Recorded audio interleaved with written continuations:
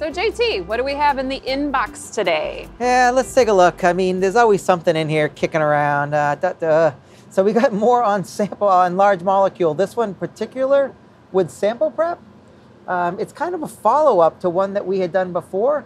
So the customer wants to know when doing sample prep for large molecules, is it different than doing sample prep for small molecules? You know what? I recognize this customer. This is the same person we addressed on another episode Awesome. where we were looking at the chromatography aspect. Repeat customer. Now it looks like they're having trouble getting the sensitivity that they want in their chromatography, so they're looking at sample prep. Great. Okay, so unfortunately, I think we're going to have to tell them that the same rules apply, that larger molecules are different than smaller molecules, even with sample preparation. But I think we need to show him the data to see how this works out. That sounds good. Yeah, let's uh, set up some experiments. We'll do some lit searches and we'll see how we can present this. I think a lit search is a good place to start. Call okay. me. All right. Kim, this is the last time I do a lit search with you. You're killing me.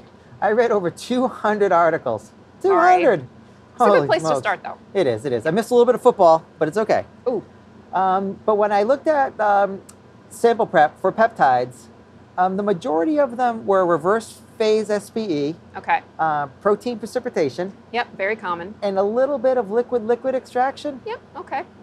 So those were kind of the hits I got. Okay.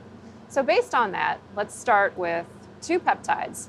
We'll spike them into plasma at Okay. 100 nanograms per mil, and we'll run them with reverse phase, solid phase extraction. We'll run them with protein precipitation. We'll run them with liquid-liquid extraction too, and let's see what we get. The criteria for success would be greater than 80% recovery for the peptides, Okay. and less than 15% matrix effects for the peptides. Ah, matrix effects. Mm. Ugh, you always talk about those. I, I'm still figuring that stuff out. All right, let's go. All right.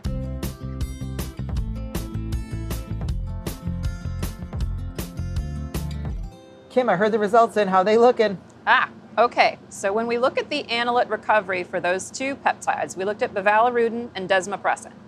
We can see that with reversed phase SPE and protein precipitation, um, for the desmopressin, we got fairly decent recovery um, with the reverse phase and the protein precipitation. But unfortunately for the bivalirudin, we got pretty good recovery with the reverse phase, but not with protein precipitation. With liquid-liquid extraction, we had less than a 1% recovery for either one of the peptides, so we didn't really get any success there.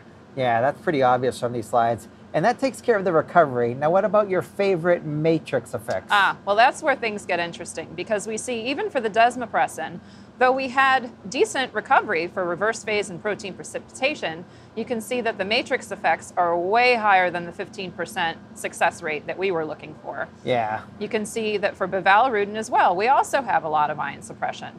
So, really, none of those techniques are going to work for us. I mean, liquid liquid extraction had very little matrix effects, but remember, we had less than 1% recovery, so that's not quite going to work, is it?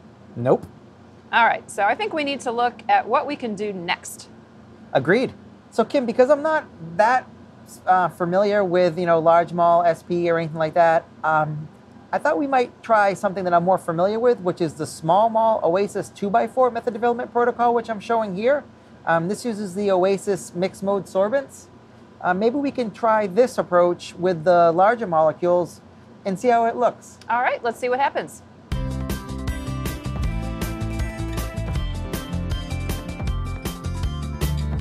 So Kim, it was really cool to actually run that two by four um, protocol on large molecules. It's typically successful for small molecules. It's a great protocol for small. How does it look for large molecules?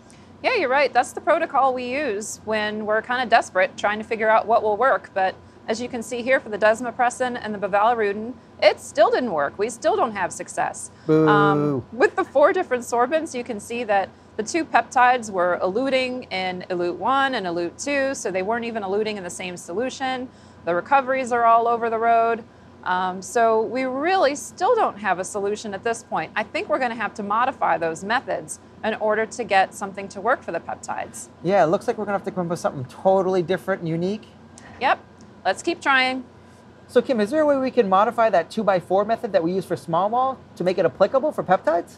Sure, I think there is. I mean, if we looked at that data, we saw the most promise for those two peptides with the Oasis WCX and the Oasis MAX. So that's a weak cation exchanger and a strong anion exchanger. Yep.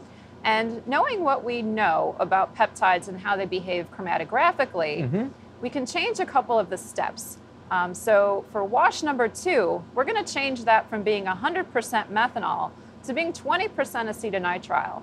And that's key in that it can wash away some of the interferences, but it won't elute even the most polar peptides that we have um, on our sorbent. And then we can also change the final elute step. Peptides are tricky. I mean, solubility is key with peptides.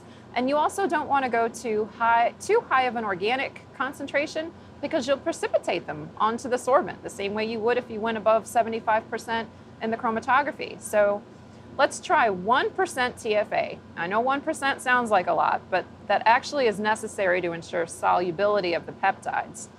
And we'll only go to 75% acetonitrile in the elution to make sure that we don't precipitate the peptides onto the sorbent, but we actually get them to elute. So Kim, I was able to try your fancy new or our fancy new protocol. I say it's yours because again, I'm not an ex- SPE expert like you are. Uh, on a wide range of different peptides and looked at the recovery. And I think for most of them, we got excellent recovery, greater than 80%, which kind of meets our parameters. There's just been a few that were a little short. Right, so out of all those peptides, we got great recoveries for 75% of them. There were only three that were a little lower than the 80% that we wanted. And for those, we were able to optimize it by changing our sample pretreatment to disrupt drug protein binding, or we had to modify a wash step to increase the peptide solubility. All right, Kim, let's bring this myth back home. Okay? You know, back to the original kind of myth, you know, when you're dealing with peptides, can you treat them the same as small molecules when it comes to sample preparation? Yep, so I think our data clearly showed that you can't treat peptides the same way that you would treat small molecules. Agreed. There's so many things to think about with a peptide. You have to think about the solubility of the peptide. So many times you have to use higher concentrations of acid Mhm. um, or base, even.